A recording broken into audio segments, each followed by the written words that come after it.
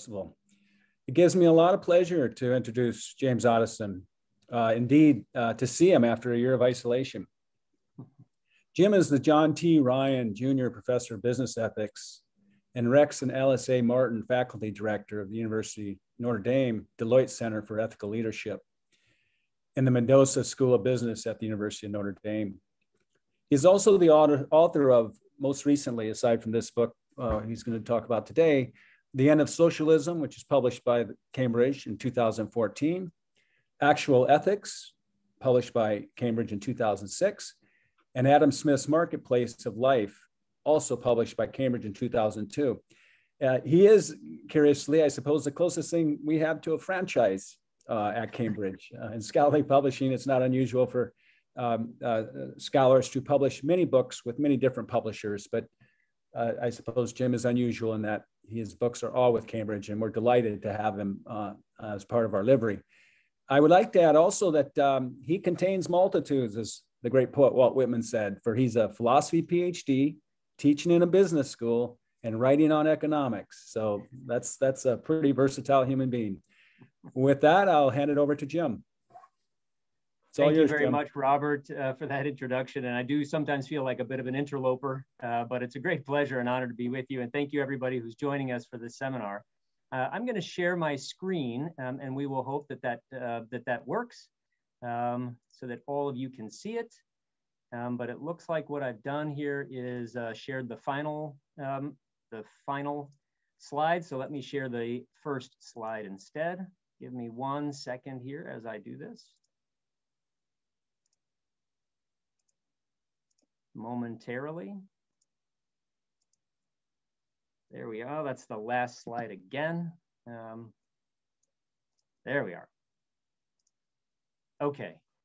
Um, so thank you very much, uh, ladies and gentlemen. It's a pleasure to be with you um, and pleasure to talk about my book, um, Seven Deadly Economic Sins. Uh, so to begin, let me just ask, um, raise the question, are there such a thing as economic sins? Well, you probably have heard of the seven deadly sins. Uh, I don't know whether you could name them all. Could you name them all? Uh, I won't quiz you, here they are. Uh, pride, greed, lust, envy, gluttony, wrath, and sloth. Um, now that's not just a random collection of bad things. Those sins are called deadly sins for a reason. And it's really these two reasons. First of all, they all lead to destruction, damage in our lot, uh, or loss in our lives, either our personal lives or our professional lives or both. Um, but in addition to that, and I think this is why they're called deadly sins, it's because we seem to have a certain predilection towards them. Human nature seems to be particularly disposed to those particular sins, and they are dreadfully difficult to actually master. So if you find yourself able to master one or another of them, you probably find yourself indulging another one. It's very hard and probably not even possible to master all of them at the same time. So they are indeed deadly sins. In my book, what I'd like to, what I argue and what I'd like to suggest today is that there might be something like deadly economic sins as well. And they would have some of the same features. Um, now, you might initially be skeptical about this because you might note or have noticed that economists disagree about a lot of things. Uh, and that's certainly true. They disagree about what the effects of, um, of the next round of tax increases or decreases will be. They'll disagree about when the next recession will be or what we're supposed to do about it when it happens. But it's also true that they, can, that they agree about lots of things. Um, and in this, I would draw an analogy to medicine. So um, if you think about um, the medical field, there are lots of diseases um, where you might get a range of opinions about how to treat them, even in some cases, whether they're really diseases at all or whether they should be treated at all. Um, but it doesn't follow from that that we shouldn't pay attention to medical expertise. Um, for a lot of the more routine and day to day ailments we might face, um, there is indeed quite a bit of agreement among uh, medical professionals, and often the diagnoses and also what to do about the problems are relatively straightforward, and there's a consensus. And I think there's something similar um, that something similar holds with economics. So what would these deadly economic sins be? Well, um, they would have the same two features as the as the deadly sins themselves. Um, first of all, they are fairly widespread. We seem almost intuitively uh, susceptible to believing them. Um, yet each of them can lead to waste, to loss, to foregone prosperity.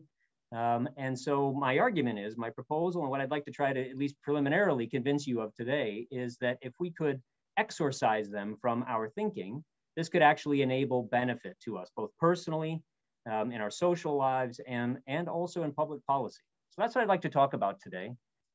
Um, and I would note, just by way of introduction, that uh, we have strong feelings about uh, economic, about systems of economics, and of course about the specific uh, economic issues Take, for example, the question of capitalism and socialism. As Robert mentioned, uh, for full disclosure, I myself have been uh, have joined this discussion. There's the uh, the cover of my book, The End of Socialism, which came out several years ago. Um, but think about these questions that I list there. Um, should we increase the minimum wage? Should we have fair trade? Should we have uh, free trade? Should we place tariffs on foreign goods? Um, is inequality bad for the economy? And why exactly is inequality bad for the economy? How much inequality? Are billionaires bad for the economy? Now, if you look at those questions, my guess is, I don't know you, of course, but my guess is that you probably have opinions about those, uh, about those issues. Um, and you may even have very strongly held positions about those issues. And of course, even economists are divided on at least some of these issues. So it's uh, relatively easy to find economists who might be on one side or another of these issues. Um, so is it even possible that economics can help? Well, I think economics can help. Um, I'd like to try to convince you of that today. Um, but first, let me ask you to think about a different series of questions. So these are not economic questions, um, but I want you to think not just about the content of the questions I'm about to list here, but also about how you would go about answering them if you didn't know the answer already. So just consider these relatively randomly selected questions. So are the interior angles of a triangle equal to two right angles? What's the limit of 1 over n to the x as x approaches infinity? How far is the Earth from the sun? When did Caesar cross the Rubicon? Is there life on other planets? Um, now, how many of those do you already know the answer to? Uh, I'll give you a second to think about it. Uh, but my real, I'll give you the answer, um, but I, the answers to them. But I would like you to think for a second about how we would go about answering them if we didn't know already know the answers. Um, so take the first two. The first two are really able to be decided um, once you understand the relevant rules of mathematics. So the first one is, is in geometry. The second one is something um, like sort of pre-calculus. Um, but if you understand the rules of geometry or you understand the rules of mathematics, you're going to be able to demonstrate the answer to those questions um, decisively. That is, there won't be any disagreement about it. The only disagreement might come about if we don't know what the relevant rules are. Um, look at the next three questions. How far is the Earth from the sun? When did Caesar cross the Rubicon? Is there life on other planets? Um, those questions too have a relatively straightforward way of figuring them out if we don't already know. Um, they're empirical questions and the short answer is we have to go out and look. Um, if we want to know how far the Earth is from the sun, we measure it and we figure out methods to measure it. And once we've done so, uh, then the answers are clear and there's no controversy about them. So those are the answers there. I put a question mark after number five. Um, I think that's still um, that's still undecided. Um, but if we want to know whether there's life on other planets, well, then the way to find out is to go look. But once we know, then there's no controversy anymore. Compare that by contrast to questions about economics. There seems to be recurring controversy. And I think it's not just because we don't know the answers to particular factual questions, but also because there's no clear consensus about how to go about figuring out what the right answer to them is. Now, here's something that's a, a, bit curious about economic matters, and this is something I have noted as a philosopher coming into economics and now teaching in, in a business school. Many people have very strongly held uh, opinions about economic matters, um, but few people have actually studied economics. That's strange, isn't it? Um, so I've list for you another series of questions, um, and my guess is that just about everybody listening today and probably everybody you know will have an opinion about these questions. Maybe again, a strongly held opinion. Um, should we raise the, raise the minimum wage? Should we decrease corporate tax uh, rates? Is immigration a net positive or negative on the economy? What's the likely, what are the likely effects of tariffs? What are the likely effects of government subsidizing solar energy production? So almost all of us have opinions about these things. But here's what's interesting about it. I would say before we develop an opinion about them, we should know at least something about what the numerous economic studies that have been conducted on each of these questions would tell us. Now that doesn't mean that the answers to those questions, that those five questions listed there, actually tell us whether we should do them or not. And that's a very important distinction. So the likely effects of increasing the minimum wage, that's an, that's an empirical question. That's something we can study. We can look at places that have done so and compare them to other relevant or similar places that have not done so. This will enable us to make predictions about what would happen if we increase the minimum wage. But once we know the empirical facts of it, um, that doesn't necessarily mean or imply that there's any particular thing that we should do. So as I say here, descriptive statements, those are factual statements, don't by themselves entail normative or moral judgments because sometimes we have to make a moral judgment in addition to or given the facts, but the facts themselves are not a moral judgment. So what we should do about any of these cases actually requires some normative or moral or value judgments. And I think that's again similar to medicine. So I would again analogize economics and medicine. If you think about medicine, suppose you have an ailment, maybe you, there are three, let's say, different routes that you might take to treat the ailment. Each of them is going to have various potential or likely benefits and also potentially potential and likely costs. Well, once you know what all of those costs are, well, what's the right level of risk for you to take? Well, the right level of risk for you to take or for any individual to take requires a judgment. And that judgment is not simply given by the facts about what the relative likelihoods of uh, benefits and, and risks are. Um, it requires a normative or a value judgment. And I think that's something similar to economics. So let's turn to economics. How should we decide contested economic matters? Here's my proposal. I think we should recur to something called political economy. Now, that term, political economy, is an 18th century term. It was also used in the 19th century and still a bit in the 20th and 21st century. But that term political economy is what Adam Smith and David Hume and James Mill, John Stuart Mill, David Ricardo, many others of the classical, um, um, we now think of them as economists, maybe philosophers, but that's the term they used to describe the inquiry that they were engaging in. And it's really a marriage of these two things. On the one hand, moral philosophy. So what are the moral values we have? What are the moral goals should society, uh, society should seek? And also perhaps what are the problems that we think we ought to try to address in society?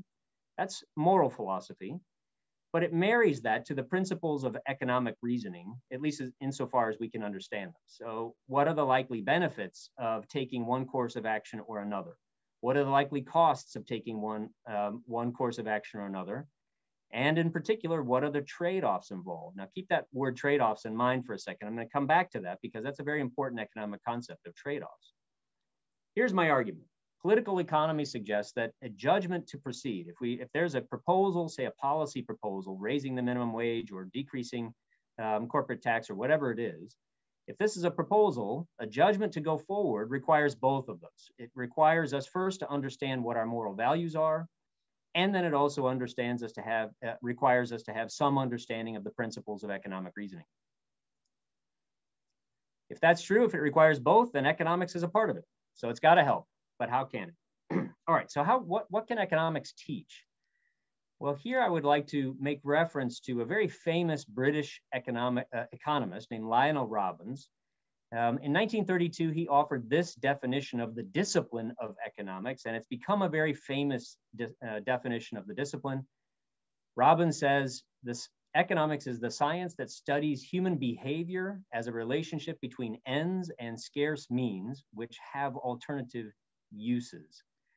Okay, so there are lots of important elements of that definition. Um, human behavior, a relationship between ends and scarce means, and those means have alternative uses. So let me just note a couple of things about that. First of all, scarcity. So the discipline of economics presumes scarcity. In fact, I would go so far as to say if economists will let an interloper like me as a philosopher say something about their discipline, there would be no discipline of economics without the notion of scarcity. And what that means is that there are limits to our resources. We do not have unlimited resources. If, however much wealth a person has, um, there, it's not enough to satisfy all of his or her ends or all of his or her goals. That means that we have to make choices. We can't pursue all the things in life we would like to pursue. We're going to have to choose from among them, and that's imposed on us by the fact of the scarcity of our resources. And by the way, resources doesn't just mean money, it can also mean our time, it can mean our human capital, it can mean even things like our love. We can't, we don't have unlimited love that we can give to all people, so we have to make choices about that too. So scarcity is a presumption of economics. Second one, and I mentioned this before, trade-offs. Because we have scarce resources, that means that if we put some of our resources in one place, those same resources can't also go to another place. Um, every decision we make involves a trade off. It means saying yes to something, but then also no to indefinitely many other things. I mean, just think for a second about one of your most precious resources. One of your most precious resources is your time. Your time is limited. Um, you, there was a certain point at which your time on this earth began, and there is a point, I'm sorry to say, at which it will end. This is true for all of us. No matter how much time there is between the first point and the second point, we cannot increase it. We can't make any more of it. What does that mean? That means that anything you spend, let's say, a year doing, is a year that you cannot ever get back in the entire history of the universe. It is gone forever. That's not just a year, that's a month, a week, a day, an hour, a minute. That means that every choice you make about what to do is putting that resource of time to one place that it therefore cannot be spent anywhere else. So every choice we make involves trade offs. And then finally, if you put those two together, scarcity and trade offs, what does that imply? That implies that we need to make, we need to have a ranking. In other words, we need to think about what is the most important thing in our lives, what's second most important, third most important, and so on. And then what we want to do is to allocate our scarce resources first to the first most important thing, second to the second most important thing, and so on down the list. And the reason for that is because we don't want to put resources to a lower ranked value to us, so something that we ourselves think is of lesser importance, at the expense of something that we ourselves think is of greater importance. So putting those three things together, I think you get a sense of what economics is as a discipline. Economics is an attempt, it's a set of tools, a powerful set of tools that enables us to try to make, to try to put our resources, understand our limited resources, understand the trade-offs involved with every choice we make, and then allocate our resources in such a way that enables us to fulfill the most important things we have in life first, second most important second, and so on down the line. So that's really the hard question. And what I would suggest economics as a set of tools enables us to uh, be in a position to, um, to make some headway on is how to decide to allocate our scarce resources, given that our resources are always scarce. But then there's another hard question, can we increase our resources? So I mentioned that we probably can't, uh, I mean, I suppose if we take good care of our health, maybe we can extend our, our time, but if we think about our other resources, our material resources, can we increase our resources so as to enable us to achieve more of our goals? That's a hard question that I think economics can help us with. And let's think about that for a second. Can we increase our resources? Well, let's uh, take a bit of a historical perspective for just a second. Once upon a time, a strange thing happened. Take a look at this graph, ladies and gentlemen. What I'm showing you there is the world gross domestic product over the last 2,000 years. In other words, the total amount of wealth in constant inflation adjusted dollars over the last 2,000 years. That is quite a hockey stick, is it not, ladies and gentlemen? Um, but if you see there, so that goes all that goes all the way out to 2019. That's the last date for which uh, we have data. Uh, but you can see there that from one year one to 500, no change. From 500 to 1,000, no change. From 1,000 to 500, uh, 1,500, no change. A couple of blips after that, and then something happened. Well, what happened? Um, let me show you one more graph just to drive the point home a little bit.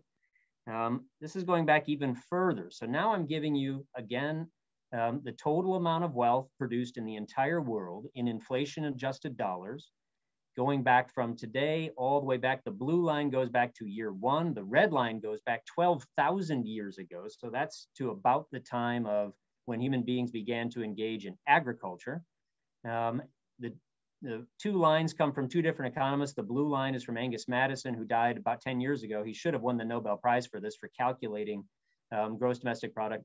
Now, the difference between this graph and the previous one is in this one, we're dividing it, it's per capita, which means we take the total amount of wealth um, created in the world divided by the number of people alive at the time. Angus Maddison calculated that back to year one. Brad DeLong, who's a contemporary economist at Berkeley, at the University of California, Berkeley now, calculated it back uh, 12,000 years. Um, the differences between the two lines that you see there, I don't know if you can see my cursor, but the differences in the lines here is owing to a slightly different way of calculating. But I think that that's less interesting than this long, low, consistent line in both cases. And then boom, something happened here. And then it began its upward trajectory to today levels of wealth that are completely unprecedented in the entire history of humanity. So let me emphasize that, ladies and gentlemen. You and I are blessed to be living at a time that has more wealth in real terms than has ever existed in the entire history of humanity. So, do you have a theory about what happened? Now, if you're a social scientist looking at a graph like this, what is interesting? Is it interesting what happened between 6500 and uh, 6000 BC? No, you know, it, it, between here, no, that's it's here. What happened? What began to happen here that led to this? Well, maybe you have a theory about it. Um, let me give you what my theory is. And of course, I'm drawing on the work of many other people, but um, let me motivate my answer by asking you to consider this question. Suppose you have something I want. Um, it could be anything, your labor, or maybe I want you to work for me, or it could be um, your love. Uh, you know, maybe, maybe, we'd like to be partners. Um, maybe it's your laptop. Anything that another person has that you might want. There are really two ways to get it, aren't there? So what are the two ways you could get something from somebody else, something you want from somebody else? Um, well, I can uh, almost see the brains turning. You're probably already thinking about the two ways. Well, one way is a not very pleasant way. So one way is you could steal it from somebody. So you could kill somebody and take it from them. You could steal it from them when they're not looking. You could defraud them out of it, uh, promise to give them money for it, to which they agree. Then you get the good or service or land or whatever it is, and then you don't pay them. All of those ways we might call extraction. And all of them involve benefiting one party to the transaction at the expense of the other party to the transaction. That's one way. What's, a, what's another way you might get? Well, another way I might get, let's say, your laptop from you is to make a proposal to you, make you an offer that you're free to accept or decline. That we might call not extraction, but cooperation. And what's the difference between extraction and cooperation? Well, there are some important differences. Um, cooperation is mutually voluntary. Um, so extraction is things like slavery, theft, colonialism, etc. And in fact, if you remember that long, low red line in that graph I showed you, what's one explanation for why wealth never really increased? I mean, you may think of some of the great civilizations of the past. Think of the Egyptian pharaohs and their pyramids, or think of the Roman Empire with its Colosseum and its aqueducts and its roads. Think of the Song dynasty in China around 1000 AD. Um, it was a massive, um, a massive empire with science and literature, gunpowder. Um, yet throughout all of those periods, no real blip. And I think one of the reasons why is that the way, take the Roman Empire in particular, the way Rome was able to generate or get all of that capital to build the Colosseum, et cetera, was through extraction. They just stole it from other people that's not increasing the wealth, the net wealth in the world. That's just taking it from other places and piling it up in one place. That's not an overall increase in wealth. In fact, that's a zero, it's what economists call a zero sum exchange. So if I steal your laptop from you, that's plus one laptop for me, but it's minus one laptop for you. Plus one plus minus one is zero, hence a zero sum. It could also be negative sum. If you think about the Roman Empire, they also destroyed a lot of assets, killed people. So it could even be a net loss of resources. But compare that to cooperation. Um, in a mutually voluntary transaction, what we have is a positive sum transaction. What I mean by that is um, if I make you an offer for your laptop and you accept the offer, then I wouldn't have made that offer if I didn't think I would benefit from it. You wouldn't have accepted the offer if you didn't think you would benefit from it. So if we both voluntarily accepted it, that suggests that we both think that it benefited us respectively. So a positive value for you, a positive value for me, that means a positive sum transaction. And I mentioned there, if you look just up, up a little bit higher, um, the cooperation that is involved in a commercial society. Adam Smith said it exceeds all computation. He has an example of, he says, uh, think first, he was writing in the 18th century. He said, think of the um, the uh, woolen coat that the common day laborer wears uh, in his day in Britain. He Says it may seem very simple and plain, but in fact, um, it was created by the cooperation of an almost untold number of people. So on the one hand, you might think of the the shepherd of the wool, the, the sorter of the wool, the wool comber or the carder, um, the dyer, the scribbler, etc. Um, Smith goes on to list all of these people, but then he says, think of all the people who are involved in transporting the materials to make this, uh, to enable this to happen. Think of the blacksmith who makes the, um, who makes uh, the scissors and the shears and the other elements that are required. And then think of all the people who are required to get those things to the blacksmith. Once you begin thinking about this, Smith says the total number of people involved in these, uh, in these um, long chains of cooperation exceeds all computation. So think for a second about your iPhone. How many people were involved in bringing your iPhone to you? It could be literally tens of thousands, maybe hundreds of thousands of people, almost none of whom do you know. They didn't know you. They, they come from different countries. They speak different languages. For Adam Smith, anyway, this was a celebration. But back to the point I was making here, um, positive sum cooperation is both mutually voluntary and it's mutually beneficial. So now let me ask you two questions between the two, extraction and cooperation, which of them is more moral? I hope the answer to that is obvious. Um, it's cooperation, but I would point out that it hasn't always been so obvious. Um, in fact, throughout most of human history, the idea that you needed to ask somebody's permission before you took something from them is a relatively recent uh, development, uh, a welcome development, but a relatively recent one. But let me ask you this question which one leads to increasing overall prosperity? So, not benefiting one person or one party at the expense of another, but rather which one leads to mutual benefit? Well, by a stroke of spectacular good luck, it's the same one. Um, it's cooperation.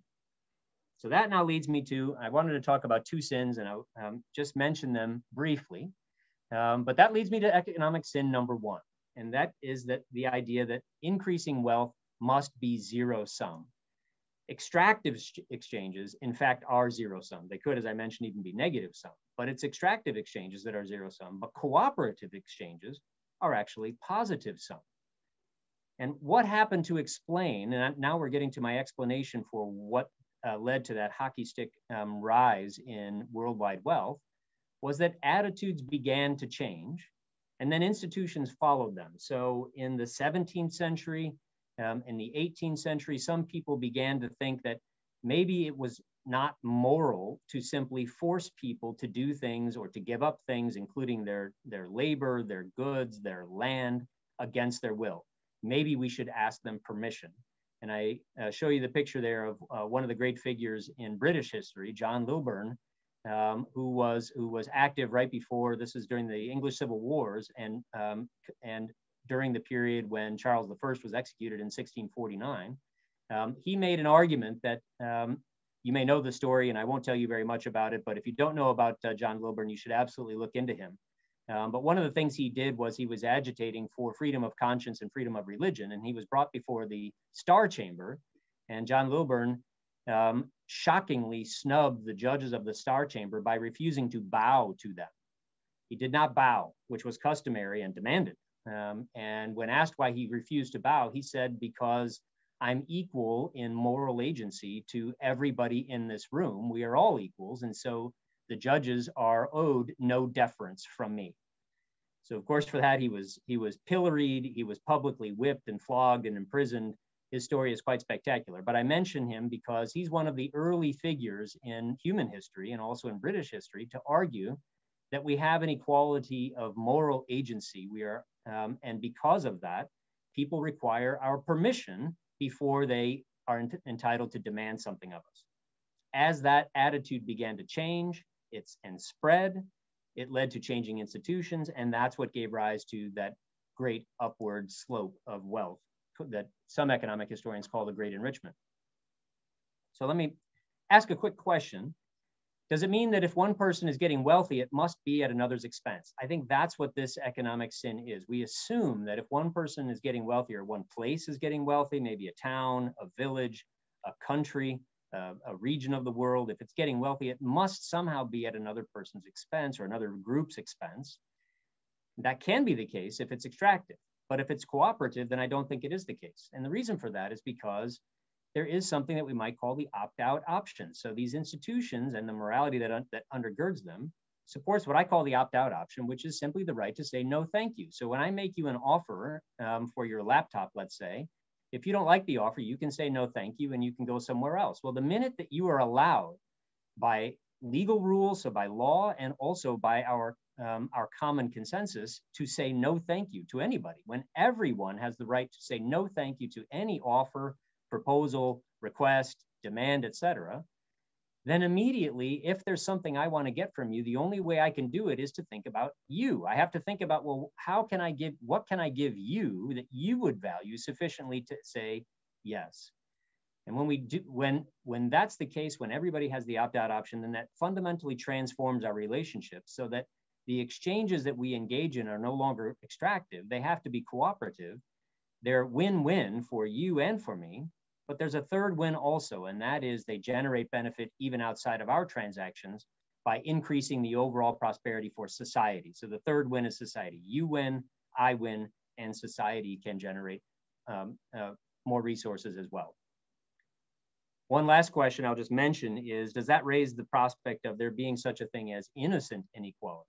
Um, I think it does. So I give you an example that I'm sure you're all familiar with, but when you think about very great different differentials in inequality, um, and you want to ask whether that it's moral or not, I think one of the questions that you have to figure into your evaluation of it is, well, how did the wealthier person get the wealth? Did that person get it through extraction? So through theft, fraud, confiscation, unfair dealing, etc or is it through all cooperation? In other words, mutually voluntary and mutually beneficial transactions. Whenever we want to judge inequality, I think we have to ask that question because that's where the real moral action lies. So what's the lesson I draw? I think we should discourage extractive exchanges. I hope that's not too controversial, but I think at the same time, we want to encourage cooperative exchanges. Now, this is just a little bit of a, um, a follower from the first sin. So economic sin number one was to believe that wealth is always or necessarily zero sum. Economic sin 1A is that other prosperity entails my poverty. So is it possible for um, other people to generate prosperity in such a way that it doesn't mean that I'm being made worse off, even if I'm not being made better off? Well, I think that is the case. So other other people can prosper, if other people prosper through cooperation, note I said cooperation, not extraction. If other people through uh, prosper through cooperation, then we're prospering too, even if we're not parties to the transaction. And this is a story that Adam Smith told um, a couple of centuries ago, two and a half centuries ago. Um, here's his very short uh, story of wealth. If you've heard of Adam Smith and his Wealth of Nations, the full title of that is An Inquiry into the Nature and Causes of the Wealth of Nations. So he wanted to know what actually increased, caused wealth to increase. Well, here's his story. I'm giving you his crib sheet story. So if you want to memorize the recipe, you'll know forever. Um, he says, first, what you have to do is you have to make people secure in their persons, their property and possessions, and in their voluntary promises. In other words, um, no one may assault, enslave, or kill them. No one may take or despoil or defraud them out of their property. Um, no one, uh, and if they make a voluntary promise, they enter into a voluntary uh, contract or agreement, they're kept to it. If you have institutions that support that and a, um, and a social and cultural consensus that upholds that, then what do people do, Smith said? They begin to divide the labor to increase production. They look for ways to increase the amount of the goods or the services or whatever it is they're, they're producing as that increases, what happens um, to the supply? The supply increases, and when what happens to the prices then? They tend to decrease. So as supply of goods and services increase, um, the, the uh, price decreases. And then as the prices decrease, and as this is repeated, this process is repeated throughout many different goods and services industries, this leads to overall rising standards of living, and especially for the poor, because that means that the poor too are now enabled to, in, to attain, to have access to increasingly greater amounts of goods, services, and other necessities of life. So that's Adam Smith's story. Um, but what that means, what that entails, is that other people's prosperity can mean more opportunities for me. More goods are created, more services are created, there's innovation, there are more op employment opportunities, which means there are more opportunities for me to sell to people, to buy from them, to partner, exchange, transact in other ways, associate with them. That means that, that there are more opportunities for me to improve my situation by at the same time improving theirs. And I can't help but uh, mention just one. Um, maybe you've heard of David Hume. David Hume and uh, Adam Smith were both Scotsmen and they both uh, were friends. Um, David Hume went so far as to say, and I'll quote him here, he says, I shall venture, therefore venture to acknowledge that not only as a man, but as a British subject, I pray for the flourishing commerce of Germany, Spain, Italy, and even France. even France. Um, and why would that be? Well, um, as blasphemous as it might have seemed for someone to say, a British subject to say in the 18th century, it was because he thought this argument held true that other people's prosperity does not entail my poverty, but on the contrary, it um, opens up greater vistas of opportunity for me as well. Okay, that's economic sin number one. Let me talk about economic sin number two. I call economic sin number two, good is not good enough. Um, uh, sorry, so to think that good is good enough is itself a sin. You remember from our discussion just a few minutes ago, we have scarce resources, which means we have to make decisions and sometimes very hard decisions. Sometimes we have to say no to things that are good ideas only because they're not as good as other ideas we might have. And part of the impetus behind that is because our desires are always outstripping our resources forever. No matter how much wealth a person has, we always want more. No matter how many resources we have, we always want more.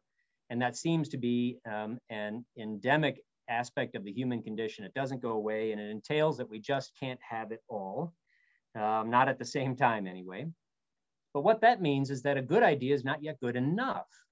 So to decide to allocate our resources in one direction or another, our scarce resources in one direction or another, um, first of all, it has to be a good idea. That means it has to actually contribute to something that matters to us. But the fact that one kind of allocation contributes to an idea that matters to us is not by itself enough. It's necessary, but it's not by itself enough. It's not sufficient for us to actually be justified in doing it because we have to then show that it's not just a good idea, but it's better than other good ideas. That's one of the hardest things for us to do in our personal lives, um, also in our professional lives.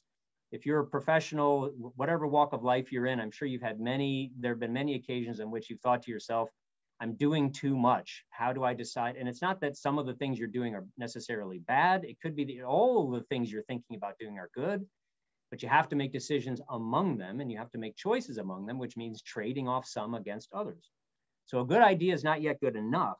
Um, in order for us to do it, it has to be better than others. And I'll just mention as one historical source for this idea, Frederick Bastiat, who was a French par parliamentarian in the first half of the um, 19th century, um, very famously gave this example of the broken window. It's a, it's a simple story. He says there's a shopkeeper whose little son throws a rock through his uh, window pane in the front of the store. Um, Bastiat says that now that the son has done this, um, this uh, engaged in this destructive act, um, the shopkeeper now has to pay the glazier. Let's uh, pick a number. Let's say it's a hundred pounds. He has to pay for uh, replacing the window. Um, Bastiat asks, um, it seemed like it, it, was destructive and a destructive act on behalf of uh, the shopkeeper's son, but was it actually productive? Because after all, it gave business to the glazier that the glazier didn't have before. Um, and this seen versus unseen is part of what became has become known in economics as the broken window fallacy. Um, what's the fallacy? The fallacy is to look at only the seen aspect of the act, so giving business to the glazier. What's the unseen act? The unseen act is what would the shopkeeper have done with that money had he not been now required to pay for it for to pay for a new window? So Bastiat says, well, maybe he wanted to buy a new pair of shoes, or maybe he wanted to buy some books for his personal library. So in addition to the seen benefit to the glazier, the glazier gets 100 pounds worth of business, there is also an unseen cost. And the unseen cost is the lost value to the shopkeeper of whatever was given up, the, the books um, um, or the new shoes. That's the unseen. Now here's the uh, where uh, the rubber meets the road Um, which of those is more valuable, the business to the glazier or the lost value uh, to the shopkeeper? Well, if we're thinking about the shopkeeper's perspective, he must have valued the shoes or the books higher than a new window. How do we know that? Because if he valued a new window more highly, he would have already been intending to buy a new window, but he wasn't. He only bought the window because he had it broken by his son. Then also look from the level of uh, the perspective of the society in general. Is the society better off or worse off for the uh, broken window? Well, if you think about the flow, so money is flowing, 100 pounds goes from the shopkeeper to the glazier, then the glazier spends hot, that, you know, 100 pounds somewhere else, the money flows, but what's lost is the stock. So think about the total amount of goods in the world. Um, in the one case, if the window is not broken, we have a window and a pair of shoes. But once the window is broken, all we have is a pair of shoes. So the unseen is the lost value that's often hard to imagine because it's never actually realized. It's what you would have given up. It's what, you, what would have happened and it's what you gave up. This raises the, the question of opportunity cost. So whenever we're thinking about doing something, allocating our scarce resources of time, talent, or treasure in any particular direction, we also always have to ask, well, what am I giving up to do so? What's foregone? What is the lost value that now will not be realized because of what I'm going to do? And Bastiat asked this question, um, which I'll just pose for you. Should the government fund the arts? Um, well, before you can, you know, let's just stipulate that we all agree that the arts are a good thing. Um, the question of whether the government should fund the arts, um, in order to know whether it's a good idea, good is not by itself enough. You have to know whether it's better than other things that we would have done with that with those same resources. Because our resources are scarce, we have to decide and know, well, what are the various things we could do with these resources and how do they rank for us in importance? Um, and so the question of whether the government should fund the arts is can only be answered once we've compared it to whatever else we might have done with those resources, including, I suppose, leaving them in the hands of taxpayers. What would they have done with, the, with those resources? Compared the benefit from those alternative uses to this one we're considering. It's a much more harder question, but we won't be able to have um, good and wise and good enough resource uh, uses of our resources until we've engaged in that. Okay, ladies and gentlemen, so I will uh, come to a conclusion of my uh, presentation. I've just talked about two of the resource, uh, two of, sorry, the economic sins that I discuss in my book. Here's a list of some of the other ones. Um, I mentioned uh, one of the uh, economic sins I talk about is the belief that there is a great mind out there, some person or persons who knows all the information about us to know what the best allocation of our own personal resources is. Um, progress is inevitable. So sometimes I think people think that no matter what policies we have or what we do, We'll still keep getting the next iPhone every six months, that, uh, um, that resources will continue to increase. But as you saw from those graphs I showed you earlier, in fact, um, the growth of wealth is a relatively extremely recent um, uh, occurrence in human history. So it is absolutely not inevitable. It is dependent on having the right kinds of institutions and the right kinds of moral attitudes about those institutions. Um, economics is immoral. People think economics is immoral. Um, well, if something, think about the choices. Remember, I said that, that, that we make, that every choice we make about our resources involves trade-offs. Um, well, the choices we make are going to have to be in the service of the things that actually matter to us. Well, some of the things that matter to us are our moral values. If our moral values matter to us, then they should affect the choices we make. And if they affect the choices we make, then they will also be figured into exactly the same kind of reasoning that we're engaging in when trying to uh, decide how to allocate our resources. Those are a few others. Um, whether equality of resources is something we should pursue, whether markets are perfect, the short answer on that one is no, they are not. Markets are a powerful tool, um, but that doesn't mean like any other tool, they don't apply to everything. Um, in the family in particular, I think it would be a terrible mistake to apply market principles to a family. Um, and then the final one, the world and I, that's the fallacy of believing that whatever the right choices are for me and my life, are therefore also the right choices for everybody else in their circumstances. That too, I think, is a fallacy. So just a couple of concluding thoughts now. Um, we all want a just and humane society. This is the presumption of the book. I assume this. I don't. Um, I don't argue that we ought to have a just and humane society. I believe I begin with the premise that we do, even if we mean something different by just and humane. We also all want increasing opportunity for increasingly many people. We want increasing opportunity, uh, prosperity. The hard question, ladies and gentlemen, is how do we achieve those things? If we want a just and humane society, we want increasing opportunity and prosperity, how do we achieve them? Especially given the facts of our scarce resources, of the fact, or that what seems to be the fact of human nature that we are, we have self-interest, we have benevolence, but it's somewhat limited. How do we achieve those things given those facts? And I think avoiding mistakes is the very first step. So think of the, the Hippocratic Oath first, do no harm. I think that applies to public policy and to political economy as well. The first thing to do is to do no harm.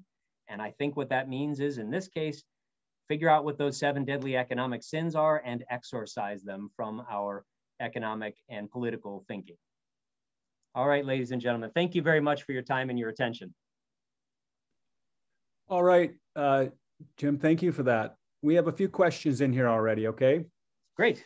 So the first one is from Eli Harush, and he's saying, he's asking, are you claiming that the statement that there are factual answers to the economic questions you posted are like the factual answers that there are to the scientific questions you presented?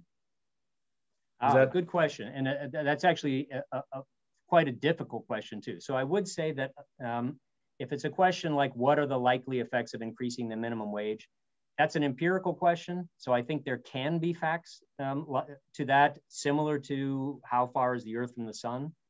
The problem with that is that it's much harder to determine exactly what those facts are. We deal more in probabilities in the economic cases than in the other, in the case of how far the Earth is from the sun. And the reason largely for that is that um, we can't run controlled experiments on human beings. So what we would like, the gold standard for scientific experiment is a controlled experiment, the kinds of things we do in a laboratory, say in chemistry or physics. We can't do that with human beings for obvious reasons. Um, so what we have to do is we have to look at, we have to try our best, and economists have actually become quite sophisticated at this, at um, aggregating large amounts of data across lots of large populations of people and fixing some of the variables so that they can isolate some of the other variables. Um, that is not a perfect process by any means. It depends on all sorts of factors about the quality of the data and the interactions of the data. Um, but what it can enable, I think, is us getting a probabilistic um, uh, empirical answer to those questions. So um, is it, can these sorts of things be settled once and for all? I think with all, like with all areas of human action, as opposed to say the physical world, the rest of the physical world, uh, likely not, but what we can get is uh, ever more, ever closer to uh, probabilistic certainty. Okay, Jim, the next question Paula Klein at Anglia Ruskin University. The late American futurist engineer Jacques Fresco developed with his wife, Roxanne Meadows, herself a designer, a resource based economy as an alternative to free market casino economics. The Venus Project in Florida is a vast scale model of such an alternative economy.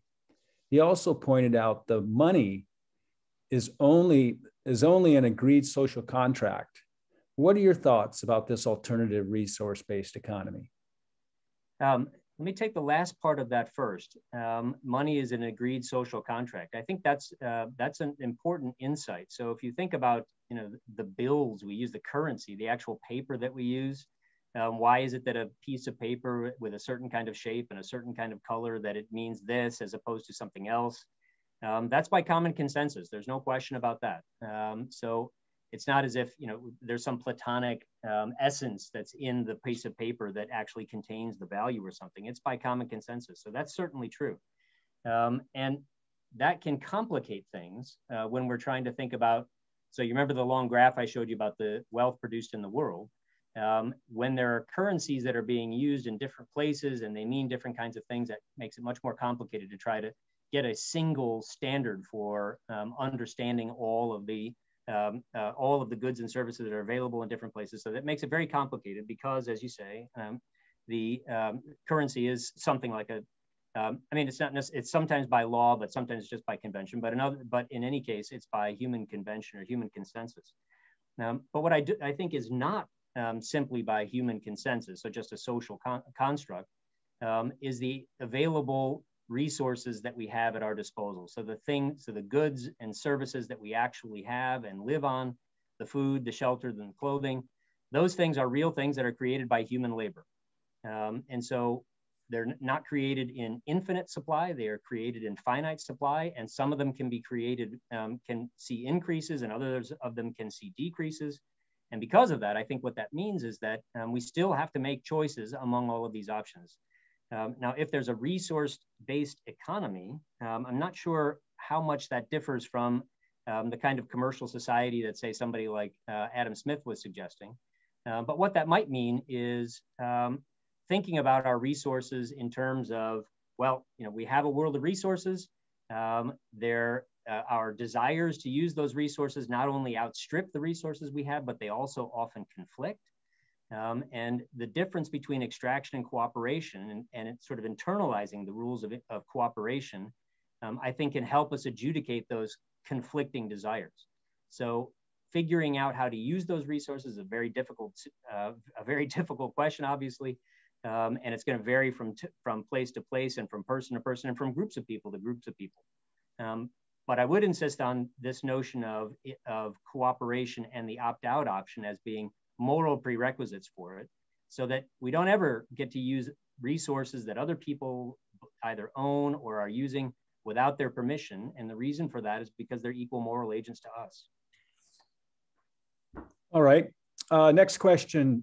Another large thing that happened around 1700, 1800 had very little to do with extractive versus cooperative endeavors was the Industrial Revolution. I think this had something to do with wealth increases, given the way the nations that experienced it first saw huge GDP benefits first, even while remaining largely extractive societies. How do you control for that?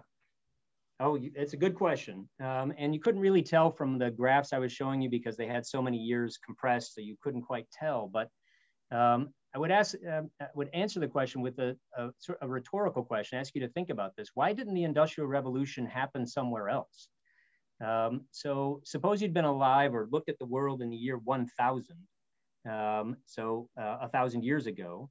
Suppose you surveyed the world and asked yourself, well, um, which place is likely, given the way the world is in 1000, is likely to, to have what we would recognize or what we call an industrial revolution? Um, I think clearly the answer would have been China. China during the Song dynasty had many of the ele elements that we think go into something like an industrial or should go into an industrial revolution, large uh, and varied geography, um, a large um, populace that was educated and literate, um, and yet it didn't quite work. So they didn't see the increase in wealth.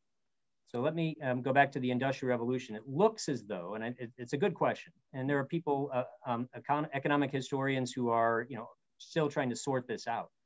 But it looks as though the um, the increase in wealth actually began slightly before what we recognize as the Industrial Revolution, and it enabled it, and then the Industrial Revolution just supercharged it. So I think the changing moral views um, including the, I would add, the changing moral views about colonialism and the, the, the beginnings of the contestation against colonialism, slavery, et cetera.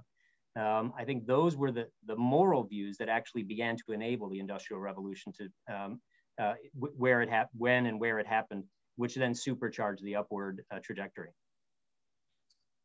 Next question. What is your perspective on quantitative easing and its effect on inflation? Raising the cost of living for the poor? Yeah, I think in the long run, it will almost certainly do that. Um, you know, it's it, it's hard to know when um, these uh, it will have these effects, and that goes back to the first question we had. You know, is economics really just about um, you know can we get settled facts about these things? Very hard to predict, um, but um, it was it, it was all the, going all the way back to David Hume in the 18th century. David Hume was the first person to talk about uh, what we would today recognize or call uh, quantitative easing. He said if you um, if you overnight double the amount of uh, bills or the, the amount of currency in a society, does that make everybody twice as rich? Uh, the answer is no, it doesn't. Um, but what it can do is there's a lag between um, the time that the when the currency is first created and the time it takes for it to filter throughout the entire economy. Um, and during that lag, some people can take advantage of um, the formerly the, the prices um, that were set before the increase in the currency, which were lower, um, before the prices then rise uh, to meet the larger currency. Um, but I think what should, what probably is likely to happen with quantitative easing as it continues is that prices will begin to uh, will begin to rise. When exactly that'll happen, it's hard to say, but I think uh, I do expect it to happen. What is your view on Kate Raworth's donut economics model? Kate Raworth's donut economics model. Um, so tell me more about Kate Raworth's donut, donut economics model. Uh, well, that's coming. Let's go to the next question then, shall we? Sure. Given the inherent inequalities in a society and the necessity of surplus labor, is capitalism extractive? Ah, um, well, I'm, i hesitate to use the word capitalism because people mean different things by that word. Uh, by that word, mostly negative, but they mean different things by it. Um, and I think you'll note that I did not use that word.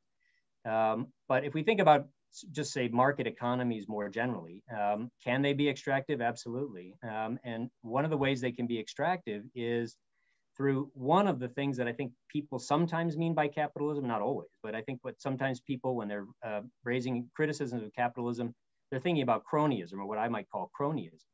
Um, so cronyism is where you have certain favored, it can be individuals or families or companies or industries who get protections from, um, from competition, uh, who get subsidi subsidies, who get certain charters to trade, et cetera. Um, that's ex that, that I would put into the category of extraction rather than cooperation. Um, and so to the extent it, that those sorts of activities go on in what are otherwise called capitalist societies, then yes, I think that can be extractive.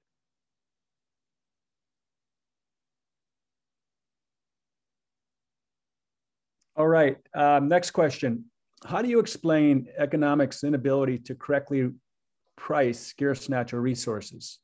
Price seems to be based on current and near future, maybe up to 20 years, supply and demand, but not ultimately our total supply, but not ultimate our total supply. Yeah, that's a good question. Um, and I, I think it's largely to, due to the, the limits of human knowledge. I think it I think what prices do is they reflect people's desires given the constraints they face. Um, and the constraints they face are in part the knowledge they have about the future. And the future is, our knowledge of the future is limited. So um, prices, it's very hard to know anything about what prices will be. I mean, think about the, you know, the New York Stock Exchange. What's the New York Stock Exchange going to be tomorrow? Uh, let alone in a year or in 10 years or 100 years. We just don't know. Um, and there are all sorts of innovative ways that we've come up with to use resources. Um, and in fact, even decreasing over, overall worldwide, decreasing the total amount of, um, of the total use of some of our resources because of various innovative ways to get more out of less. Um, but those are very hard to predict. And so since we, it, since it, um, we can't predict them exactly, um, prices, I think, often get them wrong. But I think that's more a function of just the limitations of human knowledge. All right. Next question. A common misconception of economic value is that it is determined by the labor time necessary for production, i.e., a lot of work is considered synonymous with work done well. How can we better communicate that labor is not the sole determinant of economic value? Ah, that's a hard one. Um, and um, and I, I discuss this a bit in my book, this the labor theory of value. So the idea that the amount of labor you labor one puts into something determines the value of that thing. Um, if, if the question is uh, how can we get people to see that there might be another way of understanding value, um, I think the um, one way to think about it is that value is a two-way street. In other words, um, if I'm making if I'm a painter and I'm making paintings, um, I'm putting obviously a lot of my own resources, my time, my, uh, my, you know, maybe my love, my blood, sweat, and tears into my painting. Um, but the value of that is a two-way of the, my production. The painting is a is a two-way street in the sense that um, how much it mattered to me is evident in what I created. Um, but then there are other people as well who are going to judge it and who are going to decide whether it's worth their own scarce resources.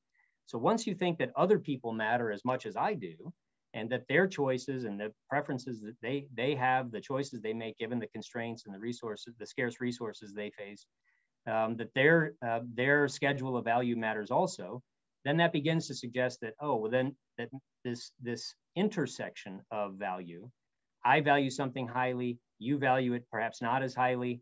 If there's an intersection then we can have a cooperative mutually beneficial exchange. But if there isn't and sometimes there isn't it doesn't mean that other people are wrong and that i'm right or i'm right uh, I'm wrong and they're right. It just means that we're different, and that sometimes happens. Next question. Surely the graph on GDP is only relevant when you use GDP as the judgment of what you're looking at which seems somehow blinkered, blinkered in the sense of judging wealth by money?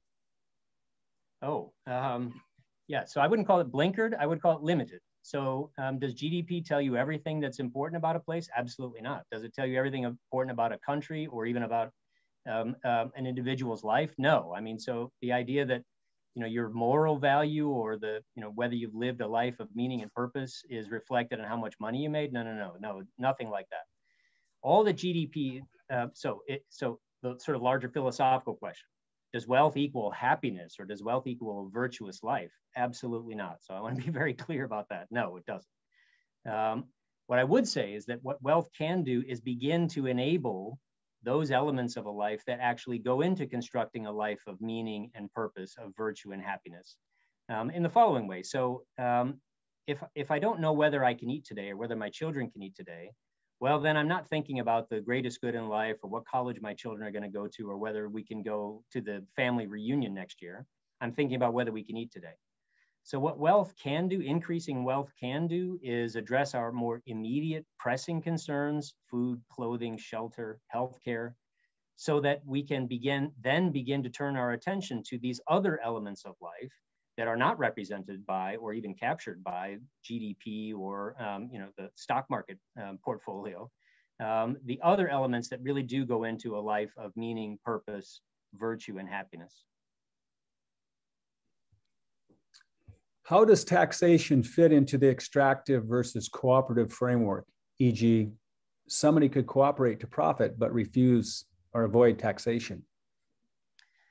Yeah, that's a tough question. So um, and there's there is a variety of views about that. Um, so I, I, briefly said I talked a little bit about the institutions that are required for um, enabling wealth to grow.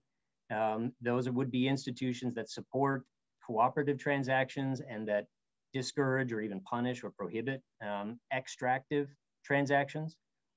So I think that in order for any society, whatever wherever it is on the uh, on the uh, in the development scale in order for it to begin to increase in prosperity it's going to have to have public institutions that whatever else they do are punishing um, attempts at extraction. Um, and i think that means that provides at least a prima facie case in favor of generalized taxation to support those institutions. Um, now it seems like the questioner in that case might have been thinking about taxation for other things um, and that takes us, I mean, depending on what those other things, I think we'd have to address that on a case by case basis. Um, so, what are the other things that the taxes are going for? Um, I might um, just in, a, as a general principle fall back on the uh, uh, on the point I made with uh, with Frederick Bastiat and opportunity cost.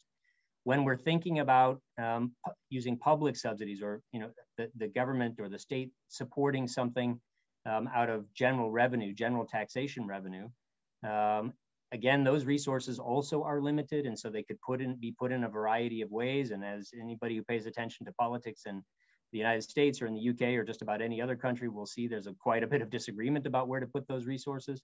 Um, one element that I think economics can add to that, it, it doesn't determine which things we should do, but can enrich our understanding and, and our evaluation of the proposals, is to remember that any decision we make to put resources in one place entails that we're that those same resources can't go to other places. So the wise judgment would be to actually imagine, well, what are the other things we might also have been able to do? What are the other likely contenders of things, the alternatives we might have um, had with those same resources? Um, and then that puts us in a better position to be able to say and, and, and have confidence to say, okay, this is a good use of our limited resources um, because we've looked at and evaluated the other alternatives and we think this is more important. All right, Jim, let's take two. We have two more questions left, okay? Okay, great. Um, what do you think about blockchain versus fiat economy? Now changing the world economy or a temporary distraction? Well, I, uh, I think the, the, the advantages of blockchain are largely theoretical right now, although they will, um, they will quickly become practical in the sense that we're going to find out uh, what the advantages are. But I think one of the advantages, the theoretical advantages that uh, advocates of blockchain suggest over fiat currency um, is that they are less subject to, to go back to the question we had a little earlier, um, to things like quantitative easing. So it's less it, it's much more difficult for anybody to inflate or deflate, uh, but to change the levels of currency um, for political reasons or for other reasons not related to um, the actual goods and services or driven by the economy itself or the level of prosperity itself. So one of the um, claimed advantages of blockchain is that it will enable a relatively constant currency which means that exchanges from one part of the world to another part of the world, or from one person to another person, one country, uh, one company to another company, um, that it can enable them to have a certain level of certainty about what the actual value of that um, of that what of the blockchain currency that's being um, that's being exchanged is, which enables people to plan a little bit more and a little bit better in the future um, and reduces the chances of political or other machinations coming in to alter the value of the currency, say after one of the transactions has taken place. Do your seven deadly sins of economics catch, cast much light on questions around inequality? And can you give an example? Uh, yes, they do. In fact, I have an entire chapter on that. So, um, um, in fact, so um, I start the chapter and I invite you to read the book. And if uh, whoever's asking that question, please let me know if you read it and if you have further questions after looking at that chapter. But um, I'll just give you, in the interest of time, I'll give you the way I begin the chapter. Um, I begin it by relying on a claim that Amartya Sen, who's a Nobel Prize winning economist, Indian economist, um, who said, raised the question, equality of what? Um, and when you begin to say when you say equality is important, immediately then you have to say, well, what kind of equality? And there's a range of different kinds of equality that actually matter. I don't, I don't mean things like, well, you know, are we all equally tall or something? I don't mean that. Um, do we mean equality of welfare? Do we mean equality of liberty, equality of security, equality of resources, equality of wealth?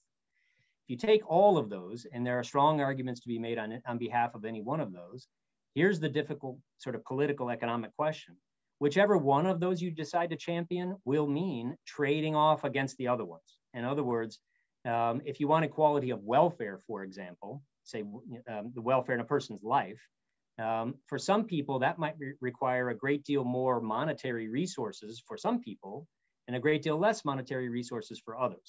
So equality of welfare will mean inequality in wealth, et cetera. And you can make a similar claim about the other kinds of, uh, of equality. So the first question we have to ask is what kind of equality actually matters. And then once we figure that out we have to be un- we have to be able to make a claim and make an argument about why that equality matters more than the others. And then once we've done that then we can begin to use i think the principles of economic reasoning to figure out well how can we best achieve that version of equality whichever the version is that we have? And i do make an argument uh, in the book for my own preferred version. Uh, but then we can begin to make an, um, we can begin to construct a plan for how to achieve or how to maximize or how to optimize, how to most um, richly get that system of um, that kind of equality um, while not expending resources on other versions of equality that we don't think are as important.